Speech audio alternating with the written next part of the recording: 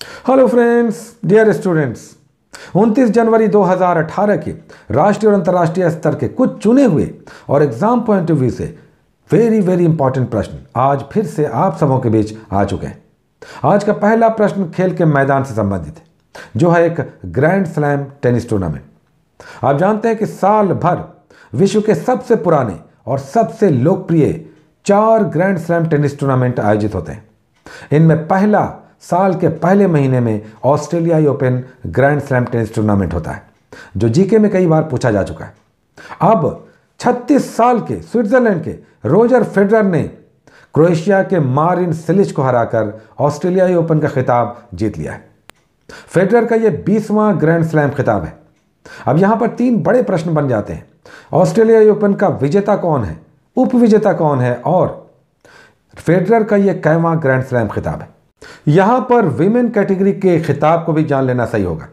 Denmark की Caroline Wozniacki ने, जो वर्ल्ड नंबर टू हैं, उन्होंने वर्ल्ड नंबर वन रोमानिया की सीमोन हालिप को हराकर इस खिताब को जीत लिया है। तो ये याद रखना है आपको कैरोलिन वोजनिया की जो डेनमार्क की हैं वीमेन कैटेगरी में ऑस्ट्रेलियाई ओपन की नई चैंपियन है। ये भी आप जान लें कि टेनिस का सबसे पुराना tournament Wimbledon open tennis tournament है, जो 1877 में इंग्लैंड में आयोजित हुआ था। अब आज का अगला प्रश्न सीधे आपसे। आप यूरोप की सांस्कृतिक राजधानी किसे मानते हैं? यानी cultural capital of Europe.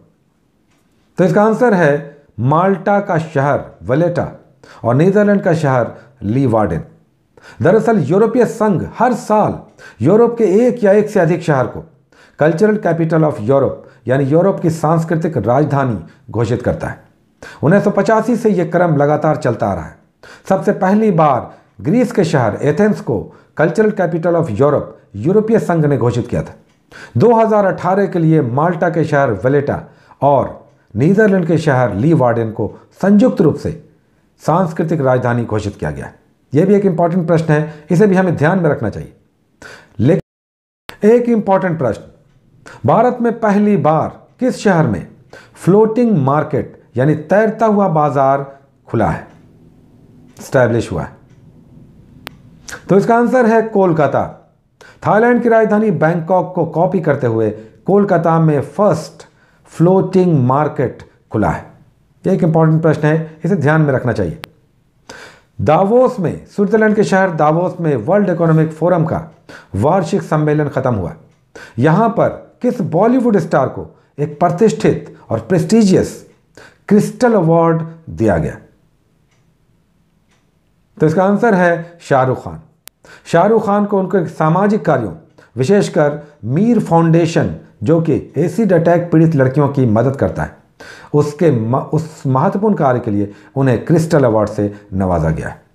Bharat में बैंकिंग सेक्टर के सबसे बड़े संघ आईबीए यानी इंडियन बैंक्स एसोसिएशन में पहली बार किसी महिला चेयरमैन की नियुक्ति हुई।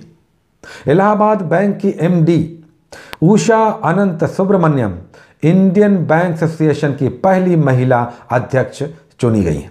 यह एक बड़ा प्रश्न है, इसे हमें ध्यान में रखना चाहिए। यह भी आप जान लें कि इलाहाबाद बैंक का हेडक्वार्टर कोलकाता में जबकि आईबीए की स्थापना उन्नीस सौ छियालीस में हुई थी और इसका हेडक्वार्टर मुंबई में है। तो बस साथियों, आज इस सेशन को यहीं पर ख़त्म करेंगे। आपसे इजाज़त चाहेंगे। आप अपना ध्यान रखें, मुझे इजाज़त दें। Take care